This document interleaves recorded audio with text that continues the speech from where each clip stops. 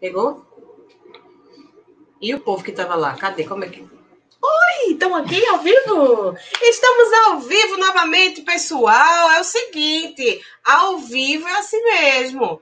A produção resolveu e voltamos. Então a gente vai fazer tudo de novo e eu vou tentar ser bem mais sucinta para todo mundo pegar o que faltou, né? Porque foi o comecinho da conversa com Conceição Rodrigues, nossa entrevistada de hoje, é, escritora, contista, poeta, premiada, maravilhosa, que acabou de lançar um livro de poesias pela editora Patuá, chamado Molhada até os Ossos. Então, eu vou chamá-la novamente. Cecita, vem para cá, Cecita. Olha eu aqui, mulher! Olha, gente, resistência é nosso nome. Tá pensando que poeta desiste fácil das coisas? Não mesmo. A gente pede perdão ao pessoal que estava já conversando e, e aqui conversando com a gente, mas acontece, né? A internet tem dessas coisas e a gente tem que dar um tempinho para a produção resolver. Mas estamos novamente aqui. Venham, pessoal, conversar com a gente de novo. E, enfim, onde estávamos conversando? Onde, par... onde paramos? Eu vou voltar para o começo do começo do começo que você é de Arco Verde, não é verdade? Mas logo veio para Recife, e aí eu te perguntei qual era a tua relação com Recife, se era uma relação de amor, de ódio, ou de amor e ódio, e como foi que, como é que se dá essa relação com Recife? Fala pra gente. Eu sou doida por Recife. Eu tenho raiva de quem maltrata Recife, da cidade é, está tão abandonada, suja, a gente poderia estar muito melhor, não é? A parte que o turista vê está bem tratada, bonitinha, a zona sul, os bairros nobres, mas a Recife que eu gostaria é aquela que trata bem dos seus subúrbios, do pessoal da periferia. Essa é a Recife que eu gostaria de ver. Eu sou apaixonada pela cidade do Recife. Recife, para mim, é mulher é uma mãezona assim com o mar, os peitos de fora, os filhos todos, os caranguejos, o carnaval. Eu sou apaixonada, louca, louca pela cidade do Recife e tenho muita raiva de quem trata mal a cidade e usa a cidade em benefício próprio para o seu lucro, esquecendo é, do povo, sobretudo, né? Que quem faz a cidade também é o povo, tá? Estão esquecendo o povo. Verdade. Verdade, Cecita. E esse apelido, Cecita, vem de pequenininha? Aí me, me fala da Cecita pequena, da criança Cecita que mora aí na Conceição. O que é que ela pensa, como é que ela sente? Fala aí um pouquinho. A Cecita pequena, a Conceição criança, é, gostaria que todas as crianças tivessem, tivessem oportunidade e acesso pelo menos aos bens que estão garantidos como direitos humanos. Na minha infância, eu nunca, nunca fui no, é, nunca tive acesso a muitas coisas, nunca fui uma criança privilegiada. Mas dentro do que eu tinha, que não era muito, eu via que muitas outras crianças tinham muito menos. E eu gostaria que elas tivessem mais desde a infância. Eu conseguia observar isso. Eu estudei muito tempo, sobretudo na infância, em escola pública. Geralmente eu era a única, a única criança branca na sala, ou tinha mais uma criança branca na sala. E eu via que ali, enquanto pessoa pobre, existiam outras pessoas ainda mais que tinham necessidades ainda muito maiores, e isso sempre me incomodou e continua me incomodando. E atrapalhou, inclusive, minha infância. Entendi. Entendi, dona Cecita. Agora me fala de uma olhada até os ossos, como chegou nesse livro, como chegou à editora Patuá, né? E a importância também da disseminação dos concursos, né, literários, dos cursos e, da, e dos escritores estarem sempre em contato com outros escritores para que haja essa troca, que haja essa de democratização mesmo, né, da poesia enfim, fala um pouquinho para a gente. Eu acho que tudo que está no meio artístico é escanteado. A gente não vê políticas para isso. Não tem política. O que tem é muito pouco, não é de acesso e de valorização. O autor que gostaria de publicar, mas não tem condições financeiras para isso, ele corre para os concursos. Os concursos literários, os que eu participei, são centenas e centenas de livros. São centenas de livros. Para dali se tirar o que tem qualidade, eles vão peneirar a primeira peneirada, a segunda, lá, lá, lá, lá, mas isso também vai depender, inclusive, do gosto particular, além da qualidade, vai depender também do gosto particular de quem está julgando. É importante haver concurso, é lógico que é muito importante haver, mas tem que ser mais democratizado. Não pode, para quem não tem condição de publicar, não pode ser apenas o concurso a única via, porque tem muita gente, tem gente boa demais. Tem muita gente boa, tem muita gente esforçada, tem muita gente estudiosa, tem muita gente que se dedica e não está tendo acesso a essa política, e a, e a artista de outras áreas também não tem acesso a política nenhuma. É ínfimo o que está se fazendo. Não é? E está aí a sociedade, a sociedade aí está mostrando é, o resultado de a gente não investir em arte, não investir em educação. Nós somos hoje o retrato e o resultado dessa falta de investimento, dessa falta de valorização muito provavelmente propositalmente, né? Estamos beirando aí o caos e a barbárie, pela falta de educação, falta de acesso, falta de arte, falta de cultura e falta de consciência.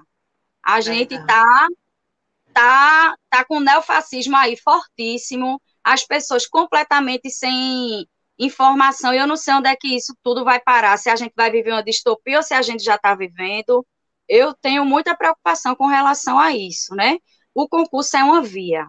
Como eu cheguei à editora Patuá, eu mandei os originais, eu vi o que eu, que eu tinha é, alguns poemas misturados com o que eu tenho, é, uhum. sobre o feminino, sobre a questão feminina, selecionei essas coisinhas e fiz um livrinho, vamos dizer assim, temático. Ele aborda outras coisas, questão, questão de transcendência da vida, da morte, do ser e tal, mas ele é um livro muito feminino, né? Muito feminino e que pretende abarcar, alcançar e abraçar todo o feminino. Inclua-se aí transexuais, gays, bissexuais, to, toda essa categoria que tem imbuído em si, de alguma maneira, o feminino. Eu queria muito abraçar e abarcar e envolver todas as pessoas, incluir todas as pessoas que, de alguma forma, é, foram prejudicadas em algum momento por conta do, de patriarcalismo, de misoginia e tal. É uma homenagem a essas pessoas e também é uma forma de sobreviver a isso tudo. Aí, voltando a Patuá, eu selecionei esses textos, né, que acho que tinha a ver, é, para fazer esse livrinho temático, enviei à editora Patuá, eles aceitam originais, não cobram por isso, esse foi um grande motivo para eu enviar a editora é, Patuá, foi decisivo. E eles fazem lá uma, uma seleção, e se a sua obra for aceita naquele momento, você vai ser publicado pela, pela editora, não é? E eles não cobram uhum. nada por isso. Pronto, com 15 dias retornaram, a obra foi aceita, demorou um pouquinho para publicar, porque Eduardo Lacerda, que é quem encabeça a editora, é um ser humano assim incrível que está carregando. Eu digo que ele é o padroeiro dos escritores, porque ele está carregando uma ruma de escritores nas costas. Tem a ajuda da esposa dele, mas mesmo assim ele pega escritores do Brasil inteiro sem cobrar para fazer publicação e vive para isso. Ele tem uma vida dedicada a isso. Então, imagina a dureza e a dificuldade desse homem para carregar esse mundo nas costas sem nenhum incentivo externo. Não existe incentivo para ele. É, é muito difícil. Está aí. É uma política que podia existir né, para as editoras pequenas e não existe. Exato. Verdade. É... Cita o que é liberdade e qual é a sua maior liberdade? Eu só sou livre no momento da minha escrita, porque no resto eu sou livre assim até a segunda página, porque a gente tem, né, que obedecer os estamentos sociais, as regras, as leis, até para que a, sociedade funcione mais ou menos bem, a gente tem que acatar algumas regras. Então, a, a escrita, para mim, é o único momento que eu tenho de liberdade, é o meu lugar de da minha palavra, onde eu sou alguma coisa, é o meu lugar de ser o que eu quero, é o lugar de eu escrever como eu quero, é um, o meu único lugar de refúgio e de liberdade é a escrita. Lógico que eu me concedo algumas liberdades, por exemplo, cedo, mais ou menos, ou pelo menos internamente, da maneira que eu gostaria de ser, é escolher as pessoas com quem eu quero conviver. Assim, no trabalho, em, outro, em alguns âmbitos, a gente não pode escolher com quem convive, mas para minhas amizades, para as pessoas que eu posso chegar para ela e dizer, eu gosto de você, eu amo você. Essas são as pessoas que eu quero e que eu sinto de verdade. E que eu não permito, para mim, me enganar nessas relações pessoais, de amor, de afetividade, porque é só isso que eu vou levar. Então, eu quero que pelo menos isso seja verdadeiro. Olha só. É... Feminismo para você, o que significa? porque muito se fala do lugar de fala. Eu tenho falado, inclusive, bastante por aqui disso tudo. Isso tudo, é, é, para mim, é um assunto que me apetece, eu gosto de falar, eu gosto de refletir sobre isso e de trocar sobre isso.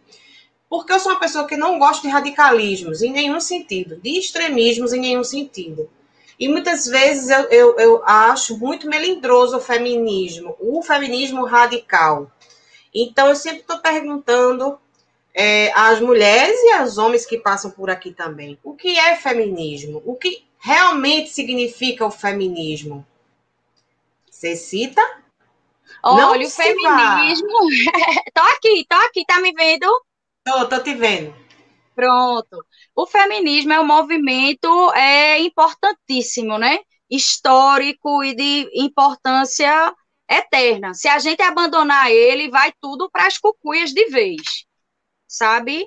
É, mas eu acho que ele não é um movimento uniforme, ele tem muitas nuances e muitas é, e muitos vieses, né? E muitos tem o feminismo cristão, tem o feminismo assim dito branco, que ele é o feminismo que eu vou para a rua, vou lutar pelos meus direitos sexuais, de reprodução, de igualdade no trabalho, e estou deixando lá em casa a minha empregada negra, pobre, com meus meninos todinhos, né?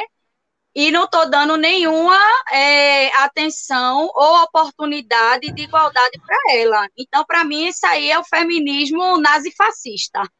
Porque o feminismo que não inclui todas as mulheres, a mulher negra, a mulher trabalhadora, a sua funcionária, a mulher que, que a tia que limpa lá a escola, a lavadeira, a analfabeta, a mulher indígena, a quilombola, que não aceita a macumbeira e tal, não é feminismo, porque não está aceitando as nuances que a mulher tem. Por outro lado, tem um outro tipo de feminismo que quer para dizer para você, quer mandar para você um Alcorão ou uma Bíblia de como ser, como agir. Olha, essa roupa não use, senão você vai ser um. Você está dando poder aos homens de lhe desejar. Isso aqui você não. E também eu não quero. Não quero nada disso. Eu não quero ninguém mandando em mim. Já basta o que eu já tenho para mandar em mim. Mas eu acho o feminismo de grande importância e fundamental. Se a gente abandonar o, o feminismo, pronto, acabou-se tudo. Né? Mas o feminismo de igualdade e que abranja Sim. todas as mulheres, principalmente Exato. passando pela luta antirracista e pela questão de classe social, envolvendo também a mulher transexual. Se não tiver tudo isso, é faça. É isso aí. Na minha assim opinião, assim, né? Eu concordo plenamente com você. Eu acho, eu penso assim. Eu penso exatamente assim. Você acha que poesia tem partido? Poesia é uma ideologia? Poesia é uma bandeira? Eu, eu acho que poesia é resistência. Partido depende do poeta, né? Ele pode ser um. Geralmente são é, artistas de oposição ao sistema, mas a gente tem artistas e poetas, inclusive uhum. é, simpatizantes do fascismo, né? Exato. E que tem obras boas, tem coisas de qualidade. Mas eu, eu, eu não quero ter partido, eu não quero ter nada me, me ditando regras, não. Eu tenho minhas simpatias políticas, mas não é nada que eu defenda cegamente, como alguma, não quero nenhuma bandeira para seguir, eu não quero me curvar a ninguém, eu não quero me curvar a um partido, eu não quero me curvar a uma ideologia religiosa, é, nenhuma, nenhuma. Eu quero ser livre de, todo, de tudo isso, porque em nada disso eu me encaixo completamente. Da maioria das coisas eu discordo em algum ponto, então eu não saberia é, ser de um partido até debaixo d'água. Eu tenho minhas simpatias, não é? Não saberia ser de uma religião e seguir aquelas normas. Eu sei que eu não ia conseguir seguir norma de religião nenhuma, por isso que eu nem invento. E de partido também, de nada também. Eu não nem invento porque não, não é para mim, sabe? E uhum. é isso, eu tô mais para anarquismo. Apesar que anarquismo também, eu também acho que no dia dá certo, eu, eu vou pela minha consciência, pronto. Tá ótimo. É, eu li uma crítica maravilhosa do seu livro, da Georgia Alves, grandiosa também, escritora, e eu queria saber o que, é que você acha sobre as críticas literárias e o quanto também são importantes quando são construtivas. Porque o que traumatiza muito alguns escritores, principalmente os que estão começando, são aquelas críticas muito pesadas e ferrenhas que acabam por podar o escritor né, na sua liberdade criativa e ao invés de ajudar, acaba oprimindo, né? Eu conheci há muitos anos atrás, quando eu comecei a escrever, não também não tenho tanta bagagem assim não, mas logo no comecinho que eu participei de recitais e tal, é, eu vi alguns críticos literários muito, muito rígidos, que tem que ser, né? Que tem que ser, porque é, é do, da, da profissão. Mas eu queria saber como você enxerga isso que você também é né, formada em letras, com especialização em literatura, mas como você enxerga esse papel do crítico literário? Diz pra gente. Eita, é complicado, viu? Porque além daqueles preceitos que se entende como o belo, como o bem escrito, também tem o gosto pessoal de cada um.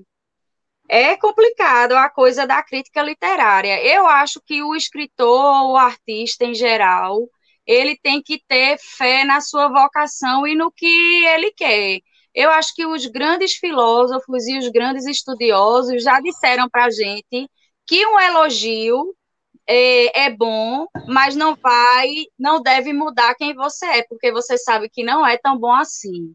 E uma crítica também não pode lhe derrubar, porque você também sabe que o que está lhe criticando, ele também não é tão perfeito assim, e que as coisas giram e o que ele pode estar tá vendo de não tão bom pode, na verdade, ser o bom e ele que está errado. Então, eu acho que o artista, e na vida geral, não precisa ser só artista, não. A gente tem que ver uhum. com muito cuidado os elogios é e as críticas e ver aquilo ali com muita realidade, equilíbrio. com muito equilíbrio. equilíbrio, muito pé no chão, né? Não se deixar é. também, né? Até agora eu tenho é, ouvido críticas muito, assim, positivas, mas eu sei que a qualquer momento pode aparecer alguém que vai achar um lixo. E eu estou preparada para ouvir que é um lixo, que não presta e seguir minha vida. Eu não vou deixar de viver por causa disso, nem vou deixar de escrever, nem vou deixar é de estudar, nem vou deixar de investir em minha obra porque alguém achou ruim. Exatamente. Você cita quem são as mulheres desse século e o que realmente você acha que ficou para trás? Eita. Eu acho que a mulher desse século é a mulher que quer existir, ela quer existir. A mulher que ficou para trás é a que estava mais interessada no que a sociedade poderia dizer, né? Que de repente aguentava um casamento falido para não dar o que falar, porque a família não gostaria, como é que ela iria lidar com isso, apesar que sempre houve mulheres à frente do seu tempo, né? Eu acho que Sim. a mulher de hoje ela quer existir, o seu direito de existir e de fazer suas escolhas, o que não é fácil. Não ter escolhas é difícil e ter muitas escolhas também é difícil. Tudo é doloroso. Verdade. Estou aqui falando com as pessoas, estão dizendo que estão ouvindo a gente bem, estão vendo a gente bem, então tá ótimo. Oh, boa. É, o teu livro, Molhado até os Ossos, ele é dedicado a três mulheres, assim, fodásticas, né? Porque Elza Soares, Conceição Evaristo e Marielle Franco. Eu queria que você falasse um pouco de cada uma delas e assim essa refer a referência que elas são para você é, e eu acho que para muitos para muita gente, né?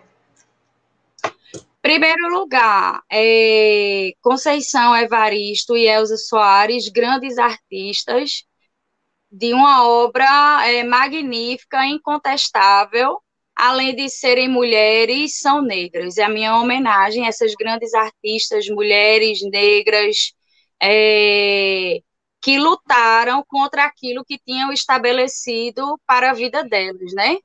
Conceição Evaristo virou tudo aquilo que tinha sido estabelecido para a vida dela.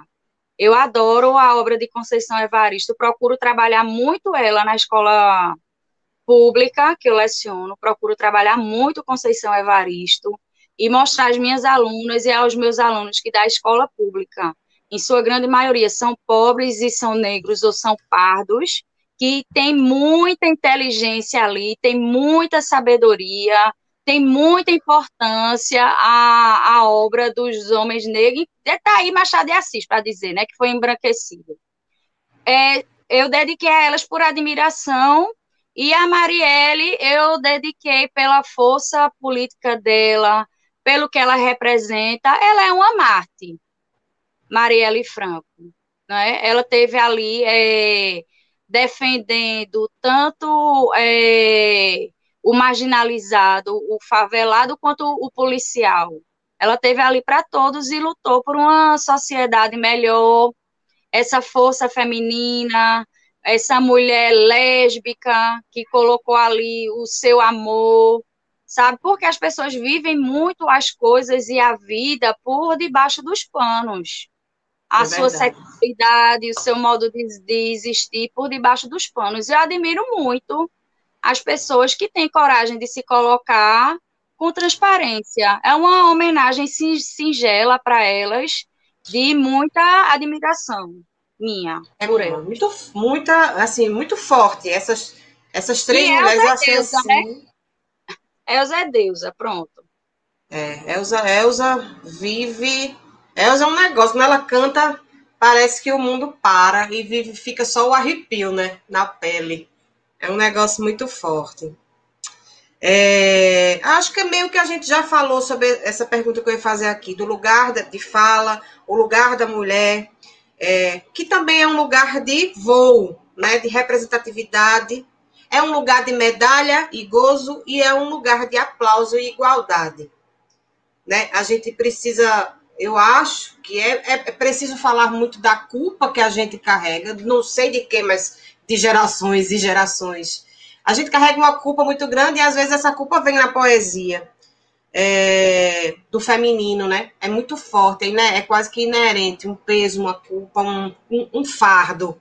É, mas eu queria que agora a gente começasse também a recitar alguma coisa. Eu queria que você recitasse alguma coisa do Molhada até os ossos. Pronto, deixa eu fazer então homenagem a, a, já que a gente falou na cidade do Recife, deixa eu fazer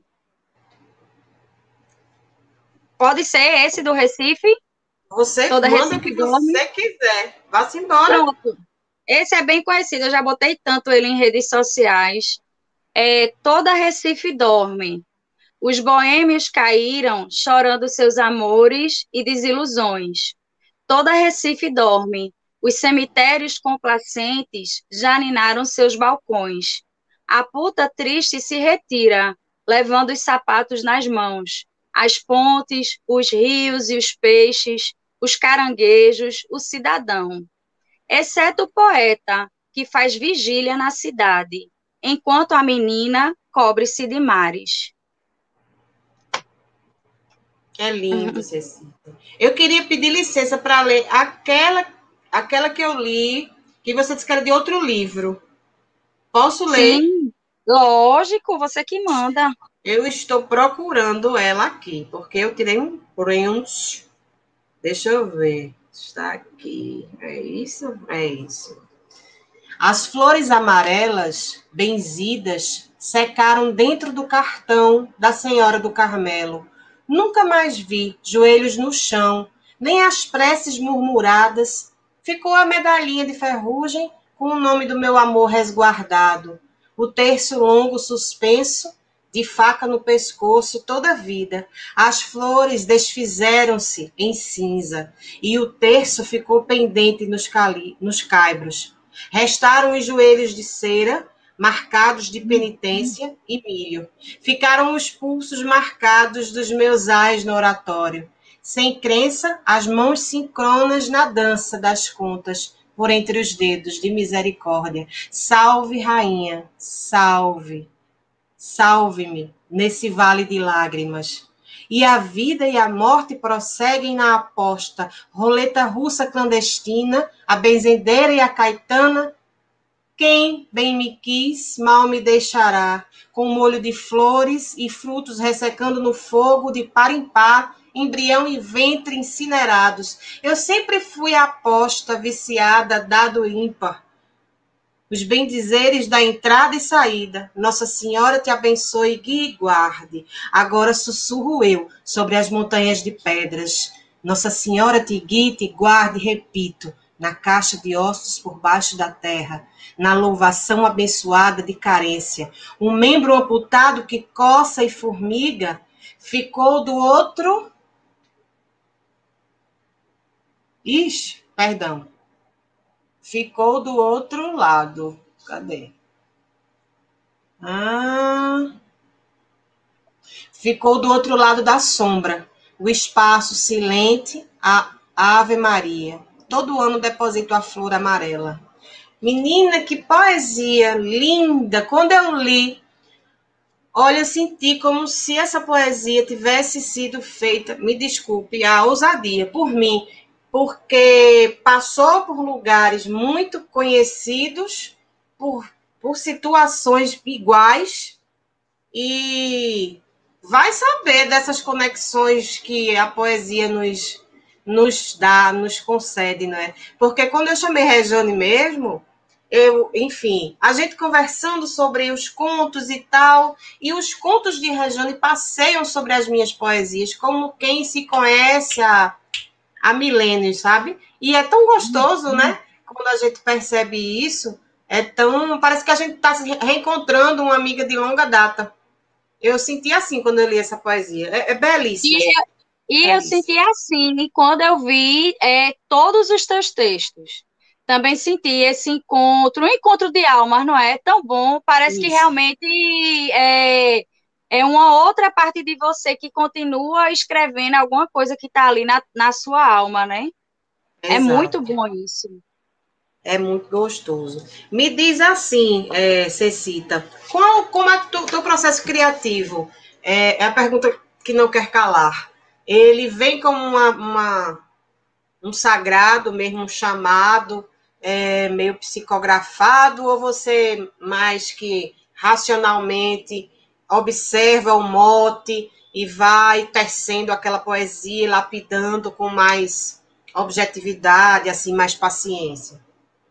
É muito raro sair alguma coisa em poesia, né?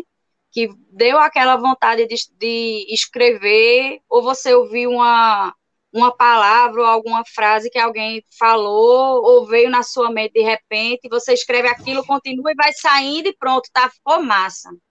É difícil. geralmente vem aquele insight, aí eu anoto alguma coisa, aí vou juntando com outras coisas, vou trabalhando ali o eu lírico, eu olho, eita, tá muito bom. No outro dia eu olho tá péssimo. Aí eu deixo lá, deixo lá quarando, vou trabalhando mais, vou trabalhando mais, vou trabalhando mais, sou muito chata.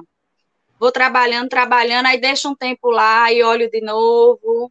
Aí quando eu vejo que assim me agrada, eu digo, pronto, agora eu não mexo mais. Mas vou burilando até não ter mais o que fazer. Em poesia, eu presto muita atenção no ritmo, na questão da sonoridade, é, não gosto muito de rima, eu gosto mais do, do verso branco. Eu gosto muito de ritmo, de sonoridade e gosto muito de imagens. Gosto muito de imagens. Gosto de tanto gosto de ler e ver, né, essa essa, essa representação de, das imagens, da coisa da imagética, quanto gosto também de escrever e quando lê assim o que eu, o que eu escrevi ver essas imagens. Eu gosto. Também gosto do surreal. É por aí. Mas eu costumo trabalhar bastante, ler bastante, rever bastante. Pouca coisa que eu tenho é, de uma vez. Sempre eu reviso, sempre eu revisito, sempre eu deixo um pouquinho de molho. Às vezes eu deixo de molho e olho de novo, eu digo, eita, tá bom. E não mudo, mas sempre tenho que deixar de molho. Joia. É, o que te faz escrever compulsivamente e o que te paralisa? Eita, mulher, não sei não. não sei. Olha, tem dia que se deixar, eu eu emendo escrevendo. E tem dia que não sai nada, eu estou completamente vazia. Por mais Nessa que eu tenha. Como foi na quarentena? Produziu muito? Na... Produzi. Produzi muito. Vamos dizer assim que 80% de um, um outro livrinho de poesias foi feito na quarentena, os 20% anteriormente já tem um, um outro livrinho de poesias pronto chama-se Os Dedos das Santas Costumam Faiscar. Ele vai bem por esse território do sagrado, do feminino, do profano, Adoro. do bíblico. Tem homenagem a muitas santas. Muito a ver com, as coisas que eu escrevo. Que maravilha! É, e achar, Cecita. Por que a gente não tinha se achado Foi antes de almas, conversar? Olha, vamos marcar um sarau. Vamos. vamos marcar geral. Vamos sim, se Deus quiser. Olha só. Vai só recitar o tempo todinho, olha. Então, deixa eu te perguntar uma coisa que eu tenho perguntado a muita gente que passou por aqui, porque nem todo mundo fez esse caminho assim da academia, né? É, nem todo mundo tem um diploma para ser poeta, para ser artista. Mas eu queria saber de você os prós e os contras nessa sua profissão de escritora de ter feito letras. Ele, se antes de fazer letras, obviamente, você já escrevia e foi com esse intuito de é, aperfeiçoar a sua escrita, enfim. Porque tem muita gente começando, sim, a escrever agora, nessa dúvida. Eu, por exemplo, não fiz letras, eu fiz comunicação social e depois enveredei pelos, pelo universo da, da, dos eventos literários e deixei a publicidade para lá, porque não era o que me comovia de fato, o que me mantinha feliz, né? Viva. Então, eu não segui o caminho acadêmico. Mas às vezes sinto muita falta de voltar a estudar, porque acho que sim é importante. Mas talvez não fundamental para ser poeta. O que é que você me diz? Eu concordo. Shakespeare, por exemplo, não teve passagem nenhuma pela vida acadêmica e foi um gênio, um mestre, um, é um ícone é, da literatura universal e sempre será e nunca passou pela academia. Talvez isso tenha feito dele um gênio. E, assim, em letras, a gente vê muita coisa de. Muitas disciplinas de gramática, de língua portuguesa, de literatura portuguesa, mas não tem, pelo menos é, onde eu fiz, não tem escrita criativa, não tem esse espaço para se soltar. Tem muito mais regras, regras, é, muita coisa da, da, da, da norma culta. Claro que tem os estudos é, de linguística, dessa maior liberdade, do não preconceito linguístico e tal, mas assim como poeta ou como artista, o curso de letras não, não, não vai trazer muita coisa, não. Ele pode ensinar, ajudar você, talvez, a ser um crítico literário, porque a Sim. gente trabalha muita coisa de crítica, de analisar a obra, de ver enredo, de ver é, essa coisa toda. Mas para o escritor e o artista em si, não. Letras não vai mudar a vida do, do artista nem do escritor, não. Agora você vai saber o lado de lá, do crítico, Sim. do estudioso e desse pessoal de letras, como é que eles vão te, como é que eles vão te olhar, né? E o, essa coisa do acadêmico exagerado, ela é muito cruel e até muito tola. Se acha demais, quando na verdade não é. Adorei. É isso aí. Você cita, qual é o teu maior sonho como escritora? Uma grande Meu premiação? Maior... Algo assim? Eu não sei, eu gostaria de ser lida. Porque, por exemplo, uma, uma grande premiação ou um grande prêmio, é, na verdade, é bom, mas por outro lado também é uma ilusão. Ao mesmo tempo que alguém ganha um prêmio literário, um outro deixou de ganhar, tão bom quanto esse outro que ganhou. Tudo é ilusão e tudo é fácil. Quem ganhou e quem não ganhou. Lógico que é importante, principalmente se ganhar dinheiro, porque o escritor, para completar, sou professora, escritor, professor, pronto, só vive tudo liso. Eu adoraria ganhar se tivesse prêmio em dinheiro. Claro. Adoraria ser lida e o assim um grande sonho que eu tenho é que as pessoas não apenas tenham acesso ao livro, mas leiam. Mas leiam. Eu acho que a gente lê muito pouco ainda. É verdade. Deixa eu te perguntar. O que é que a morte tenta nos dizer? Ela tenta dizer para que a gente aproveite a vida. É verdade. Todo escombro é poesia? Plenamente. Adoro escombro, ruína, nada mais poético e mais representativo de nós mesmos do que a ruína, sobretudo se for pó, porque o que a gente é pó, nada. A gente é pó, nada e vaidade e não vai ficar nada. E a gente passa é a vida todinha querendo ser alguma coisa. É isso aí. Mas não é nada. Ó, a minha poesia sempre vive, ronda e observa muito os meus ancestrais. A infância, as casas que já se foram, as almas que já fluíram, é como se tudo tivesse sempre no mesmo tempo, tivesse que caminhar de mãos dadas. Você tem essa sensação também? Porque eu conversando com o Rejane, a gente falando muito de morte, né? Aquela coisa que, que parece para muita gente que está assistindo que é pesado para a gente. Mas no momento que a gente está recitando, a gente está tão bem que a gente está falando. Parece que realmente está tudo conectado, passado, presente e futuro. Eu queria saber dessa tua relação com teus ancestrais, com memória, e, e, e, se você se sente pesado em algum momento lendo algo forte ou triste, porque eu não me sinto. É, os ancestrais e a memória. Eu acho que a memória é a grande sacada que diferencia a gente do animal. É a memória. Pela memória, a gente é diferenciado, a gente é feliz e super sofre, porque tem memória, relembra as coisas, né? A, a memória, que é a consciência, eu acho que é o cerne do sofrimento da gente, é a memória. Né?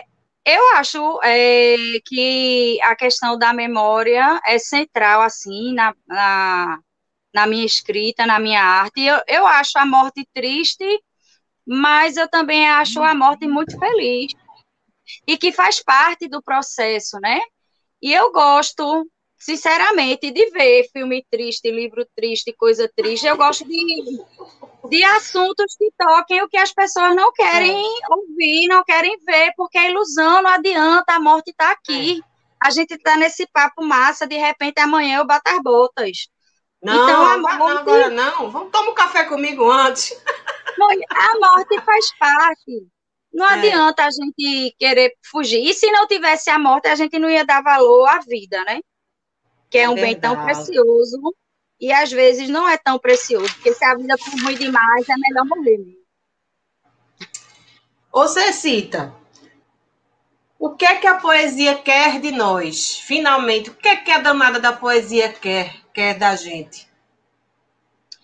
Ela quer que a gente se sinta besta, bestalhado, de estar tá lutando, tá lutando pelo que não, por algo que não tem solução, de estar tá se aperreando pelo que não tem jeito, de estar tá observando as coisas que ninguém valoriza, de estar tá no universo paralelo. O poeta está no universo paralelo, observando o que ninguém vê, e se as pessoas virem o que o poeta vê, vão achar o poeta, chamar o poeta de abestalhado, de aluado, né? E por outro lado, o poeta e o artista, eles vão dizer coisas e verdades, inclusive sociais e transcendentais e filosóficas e humanas, que nenhum filósofo, nenhum estudioso, nenhum sociólogo jamais disse. Só o artista tem esse poder, é, no caso do escritor, né, de usar a palavra para dizer o que só dito da maneira dele vai tocar as pessoas. Né? O é. teórico, o acadêmico, de repente, ele não vai tocar as pessoas como poeta, e não vai nunca. Chegou um momento que é indique um amigo, porque eu faço essa rede de apoios aqui. Indique um amigo escritor, ou indique mais de um amigo, um escritor e outro que tenha se reinventado e tenha inventado, sei lá, Tô fazendo bolo, tô fazendo cocada, tô fazendo colar, tô fazendo quadros. E aí a gente está se ajudando porque um vai chamando o outro e a gente vai se divulgando aqui. Indique seu amigo. Eu vou indicar a deusa Georgia Alves. Eita. Olha, a mulher, olha, a mulher escreve todo tipo de texto, crítica literária, uma grande estudiosa, uma vida toda dedicada à, à literatura. Infelizmente, ela, é, como tantos outros que eu conheço, não tem o reconhecimento que deveriam ter, né? Uhum. Ela merece é, reconhecimento, merece ser divulgada, merece ser vista, merece ser ouvida. E que lindo que você faz isso, né? Agradeço tanto é, a Rejane, por ter lembrado de mim. Sim. Rejane é uma, uma mulher é. incrível, é. uma artista é. fantástica, um ser humano, assim, ímpar, né? Exemplar. Eu sou fã. Exemplar. Eu sou fã. Adoro ela. Meu Deus do céu. Beijo, Como eu... Rejane. Rejane tá aí? É, eu, eu acho que tá. Ela disse que eba, voltou, mas aí estou falando mais aqui no chat, eu estou dizendo, gente, vocês estão me ouvindo? Aí uma amiga minha disse, está ouvindo, então eu estou tranquila, estou seguindo. Menina! Sobre Geórgia, eu quero convidar ao vivo, Geórgia, vem para o De Frente com o Flor também, não é? Para a gente conversar, porque eu, eu conheço, mas de vista, a gente se esbarrou em eventos, mas eu queria, quero muito ter a oportunidade de conhecê-la melhor. E acho que esse canal é isso, é para trazer essas oportunidades para a gente se abraçar não só virtualmente, mas para que essa rede de contato se, se expanda e a gente para frente tenha projetos juntos e encontros, entende? É meu objetivo Olha, é isso. Georgia faz inveja para qualquer lado que ela esteja. Se for do lado acadêmico, ela, o povo vai ter inveja, porque ela é altamente competente e muito estudiosa. E se for no lado artístico, ela escreve muito bem. Georgia é tanta coisa que ela não cabe dentro dela. Ela é tanta coisa que ela não cabe dentro dela, ela transcende. Ela é coisa. Que maravilha! É, Quero Georgia ela não aqui. cabe nela. Ó, oh, Rejane deu, deu a da graça aqui. Disse: Eu estou aqui, é claro que eu estou aqui. Aí eu disse, te amamos, Rejane.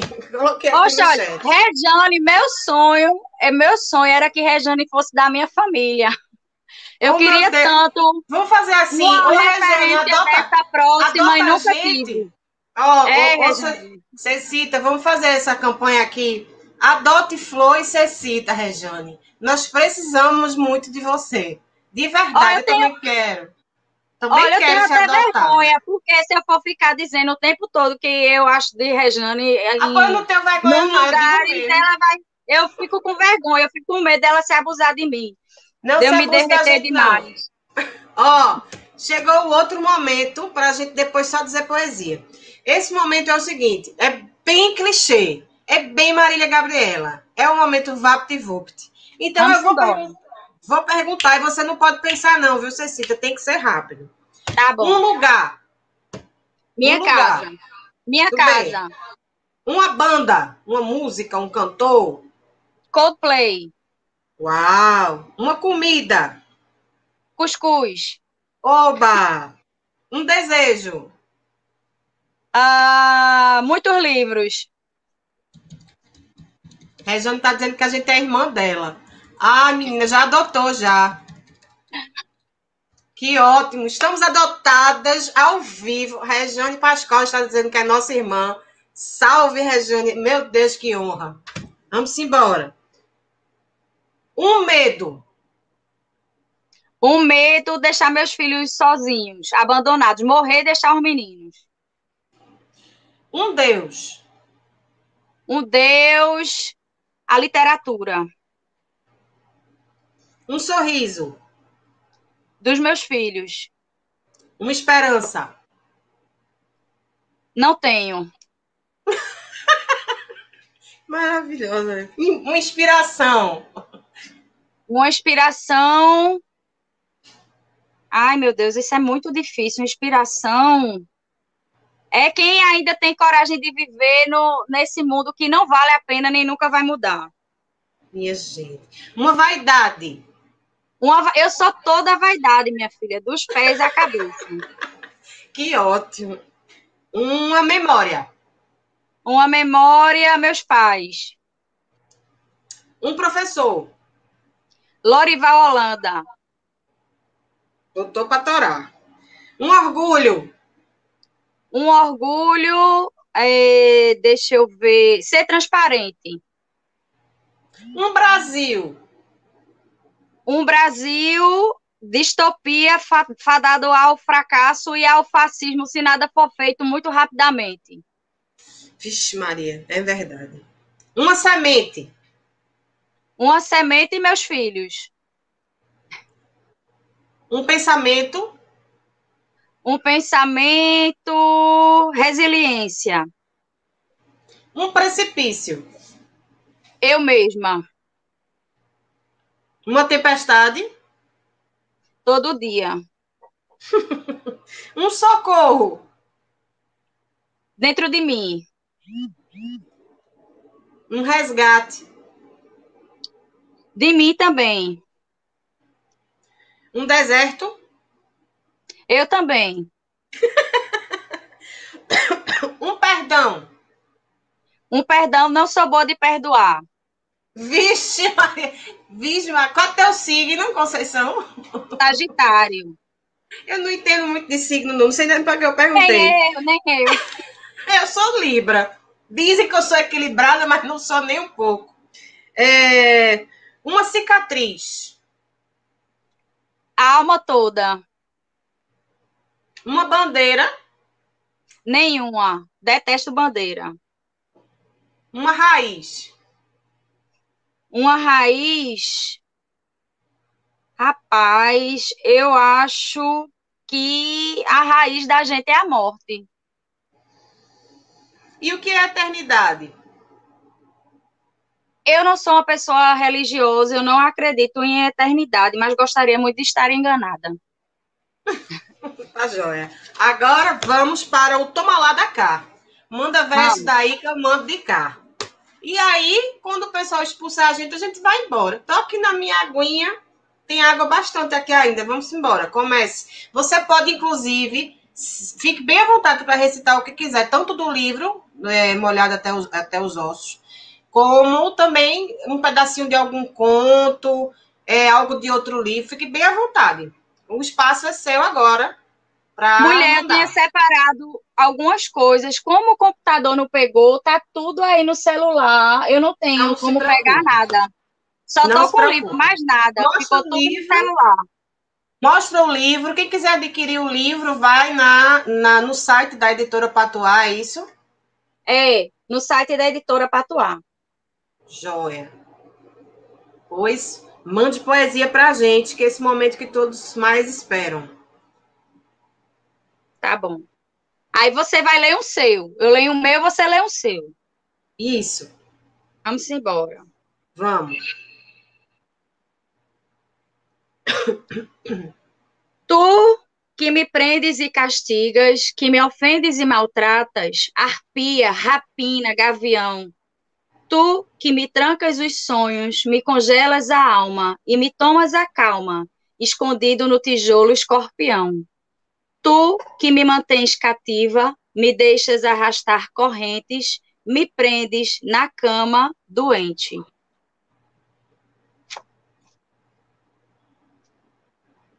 A dona da máscara negra, fogo na memória corrompida, desalinho, fio de encardida dor. O pássaro azul a fitava docemente, preparando seu voo lento. A dona dos prantos esperava a sorte. A dona dos versos rasgava suas asas adoecidas. A dona da história reescrevia caminhos. O pássaro azul esperava calmo, o pássaro azul sustentava o sonho, o pássaro azul sabia do canto de dentro. Por sobre a lua, ambos dormiam sedentos, a dona do tempo e o dono do vento. Lindo. Beatriz. Sou tua Beatriz, a que contigo se deita. Sou tua Beatriz, a que as outras enjeita e aceita é que te quero muito e tanto, com aflição de que sereno. Teu movimento, onda turva, solidão da lua em teu vasto céu ameno. Tua pastora em campos, prados, a que te recompensa em lastro, a dos teus agrados. Queimo ciúme, seminarista casto. O claro escuro, um santo enviado desiludido com o mundo. A mãe que vai a Salomão e abre a mão do seu legítimo filho, é a que ama com precisão, pois mais vale amor injusto que perdido. Ser poeta é chão e mergulho, contágio e revolta. Ser poeta é a porta das coisas simples. Entrar em mansas, povoando as entranhas de verso forte. Das coisas fortes, soprarem lanças, florindo o significado de sorte. Ser poeta é mais que palco, microfone e mote. Ah, como é cheio de desconstrução, e como é cheio de transgressão, e como é cheio de profusão o ato de permitir-se poeta. O sucesso vem das asas maduras, que voam e povoam as paisagens na hora da alma. O sucesso vem do olho brilhando quando a boca sustenta os símbolos acesos. Virgínia, quando o Recife estiver coberta de mangue, grávida apenas dos bichos e da vegetação, e quando todos que andavam apressados não passarem de ossos e metais na umidade, restará a linha que une e separa o mar e o mangue. E ali, bem ali, estará pairando o frevo número dois, se despedindo do povo e saudando os caranguejos.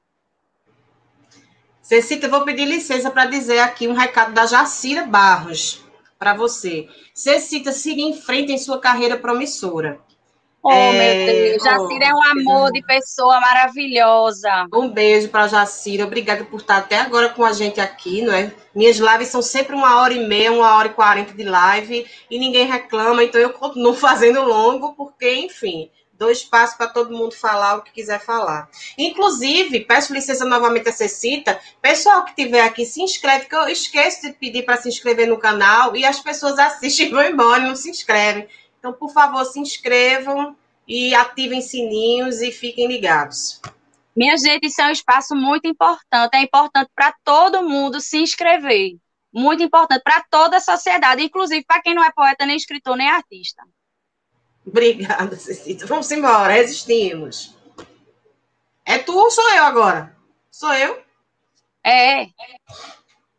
E falo dos dedos solitários, dançando sobre papéis imensos, a insegurança dos movimentos, a hereditariedade dos ventos, e falo das borboletas assassinas lapidando asas alheias, a indiferença das passagens, a sobriedade dos tempos, e falo assim das bobagens e falo mais de roupagens, da insatisfação de minha paisagem, e calo por sobre o labirinto, que quer abrir a porta da rua, e fecho os cadeados de ilusões e loucuras e sopro sobre antigo papel a música que deita sobre a monotonia.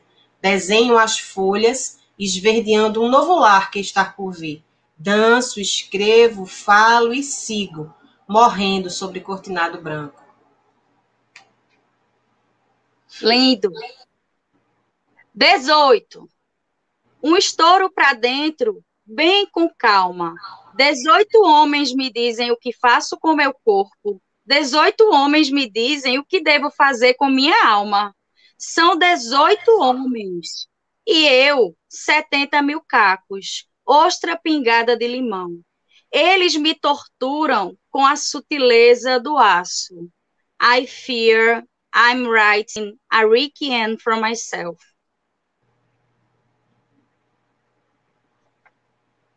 Uau!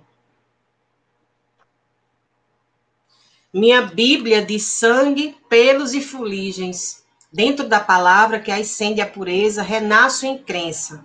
A fé que afugenta não é a mesma que liberta. O livro do perdão é a ponte com o cosmo, porta entreaberta. Toda salvação é cotidiana. Todo santo é escravo de suas preces e boas ações. Minha vigília consagrava as imagens de meus antepassados, culpados pelos filhos futuros, condenados aos erros alheios. Minha Bíblia temia o castigo. Minha penitência era não conhecer o amor. Meus desejos eram póstumos. O meu perdão era imundo. Limpava os muros para ter um pouco de paz. Deixa eu ver. Brasileira. Brasileira. Uma lambida de língua na língua minha, gostosa. Brasileira. Não europeia, colonizada, de quatro, preta oxigenada, invadida, assaltada, estuprada. Brasileira. Não dir-lhe-ei, nem faloei nada. Quero é samba preto de rima embolada. Quero a bunda do índio de fora uma boa bunda de índio, soberana, sagrada, brasileira. Língua que me come puta dos Brasis de melodia e dialeto. Brasileira. Não contar-lhe-ei puritana, desconfiada, norma culta, amordaçada. Quero a língua macia, brasileira, com a mescla do, do português do degradado, mas primeiro Índia, mas primeiro preta, mas primeiro mátria, maluvida, de tanta malemolência, de tanta malincolia brasileira. Muito massa. Vamos lá. Borboletas negras rodopiavam em meu pulmão, costurando outro tipo de tempo, Dentro de mim, animais viviam em paz. Cúpulas cobertas por flores eram cultuadas pelos filhos próximos. Meus cabelos em fumaças brandas levavam os corvos de minha alma ao delírio. Chovia em meu rosto e os galhos do passado suspendiam meus pecados. O relógio parado seguia em procissão. Alguns urubus encantados entoavam um coro. Chovia em meus pés e o caminho cansado de sol suava em meu olho. Debaixo do meu vestido a terra acendia as luzes. Chovia em meus dedos, e as letras que escorriam lentas e letais jamais ousaram tocar a minha alma. Chovia e eu me despia de um azul ensolarado. Descobri que o sol se, se escondia em teu penteado. Lindo. Mas você que sabe. Quer ler uma minha e eu leio uma tua? Eu peguei umas tuas que não estão no livro. Mulher, eu peguei umas tuas, mas tá no meu celular. Ah, e eu, o celular.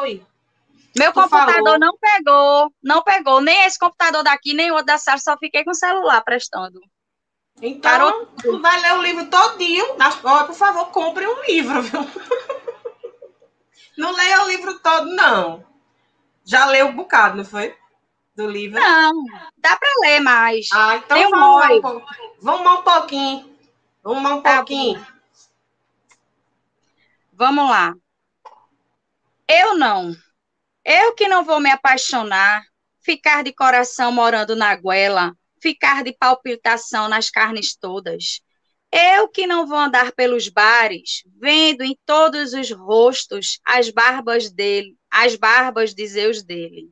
Eu não. Não vou casar, separar, rasgar certidões, depois brincar de fazer ninhos com flores e gravetos nos olhos dele, de espelho e de paz. Eu não vou me lamentar com os relógios que não se emendam, de fazer as horas equivocadas, porque ele é eternidade e a voz de trovão, e eu, criança. Eu mesma não, só se for outra, e talvez se contorça em faíscas de pregos, mas eu.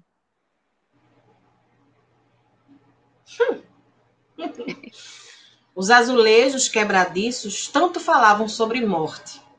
Nem o batente da velha amiga. Horas passadas a ver o tempo correr quando o tempo era feliz. Fizeram um buraco no céu e todas as estrelas de minha infância foram soterradas. Nem incêndio, nem destroços, almas vagavam à procura do mesmo abraço. Abriram minhas malas à procura de milagres. O que me sobrou? O mesmo medo de ontem, de gritar bem alto. Não quero mais ver o rio. O chapéu de palha voou longe. Acabaram as lembranças. Meu filho não soube o que é finalmente voltar para casa. Belíssimo. Obrigada.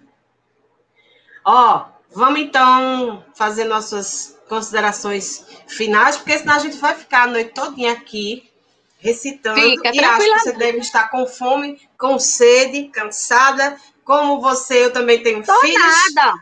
Nós somos as mamães poetas, não é? E como é difícil, não é, Cecita? Ser tantas juntas num só ser, como já diria Lenine.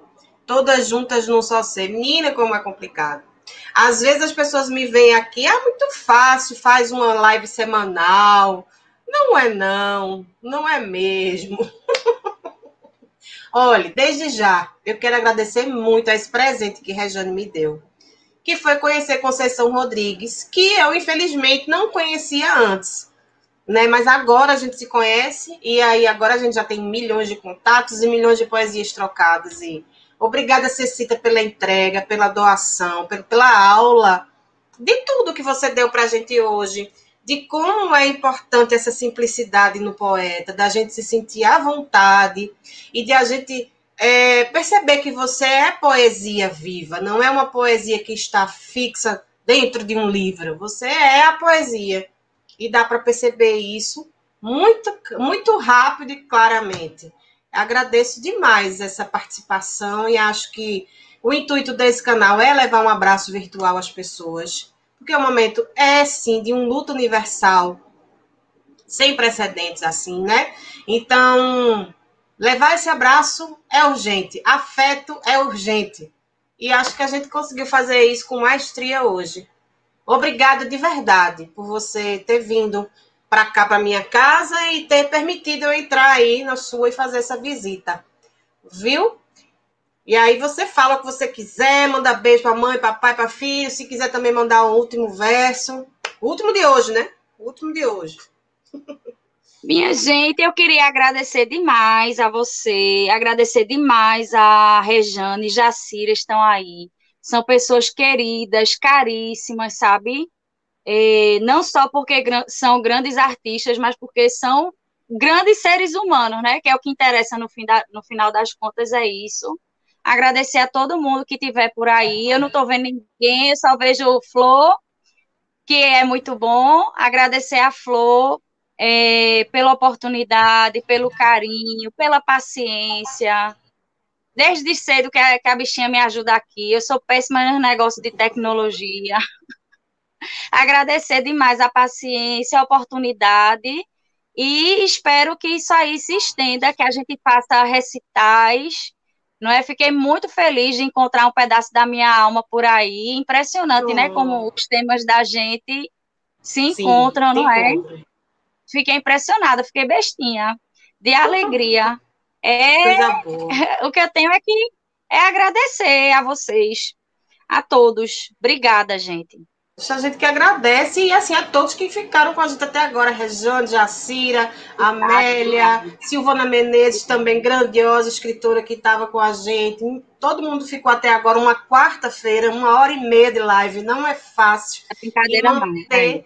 é muito legal saber que as pessoas já sabem e vêm acesso. Curtam o canal, porque eu preciso dessas curtidas para o canal continuar né? Assistam os vídeos, porque tem muito artista legal que eu já conversei e vem muita gente maravilhosa também, como você, pela frente.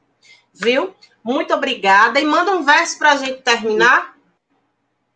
Tá bom, deixa eu ver aqui. Pode ser o que abre o livro? A Mulher claro. das Sete? Pode. Bora lá. A Mulher das Sete Saias, uma mulher cáustica a mulher das sete saias abarca em suas barras o mundo todo e todos os homens. É metafórica, magnética, pneumática. A mulher das sete saias está nos uhum. portos, postes e bares. Está quando quero escutar os pássaros pintados nas paredes de Hiroshima. É epilética, concentrada, esquizofrênica. De carnes moles é reconvexa e umidade, a língua até a úvula esterilizada. A mulher das sete saias tem a boca costurada de linha preta, as pernas entreabertas ilhadas de pelos brancos, há 30 séculos emparedada, poieses das folhas craqueladas, 70 mil cacos de um só estampido, no estouro interno é a alegria das coisas mortas. Vejo pela janela que dá para a janela do meu umbigo. Trepa com todos. Eu, orgulhoso, tenho apenas dez dedos. A mulher das sete saias tem sete mil lábios. É sifilítica, lubrificada, uma máquina antiga com pernas. A mulher das sete saias tem cabelos de gerânios, costelas de gérbera, olhos de azinhavre, beijos de lima. É digital, transcendente, asmática, tem seios de vidro. A mulher das sete saias é toda holofótica, tem veias de fios de cobre, é a mãe de todos os gatos da cidade. Trepa com os sofistas, escafandristas e presidiários. Trepa com os garis, cata estrelas nos caminhões de lixo e o Lincoln nos galhos secos caídos. Trepa lá em cima, dômina do universo antiquíssima, turbinada de amortecedores, é diáfana, estúpida, mora na caverna aristotélica. A mulher das sete saias é telúrica, astronômica, incendiária. Nem sabe que existe para dentro. Uau! Obrigada. Maravilhosa, maravilhosa, Conceição. Vida longa, poesia de Conceição. comprem um livro, comprem um livro editora do Patuá, por favor, já vão agora lá no site da editora e comprem, porque eu estou louca que o meu chegue em casa para eu degustar, porque maravilhosa. Maravilhosa em todos os sentidos. Um beijo na tua alma. E um beijo, beijo para todo mundo. E eu não sei como desliga isso. Inclusive, Vou pedir desculpas porque hoje tivemos problemas técnicos, mas a gente conseguiu reverter e a live aconteceu graças à produção que sabe mexer nessas coisas, porque a gente não sabe, a gente sabe fazer poesia, né? Então é pois é isso. É. Beijo, beijo. E eu não sei como beijo. desliga, então. Nem eu. Sinta, Vou ver tomara que a gente se abrace de verdade, em breve, viu? Em um breve. beijo para todo mundo que ficou com a gente. E eu não sei como desligo isso aqui, então eu acho que eu vou chamar a produção. Eu vou Beijo. ver por aqui onde eu vou apertando. Eu não sei onde eu vou apertar, então para eu não apertar nada de errado, eu vou me embora. Maria. Vou deixar só aqui. Adeus, pessoal. De frente com flor. Beijos. Vou buscar socorro para desligar. Como é que desliga segments.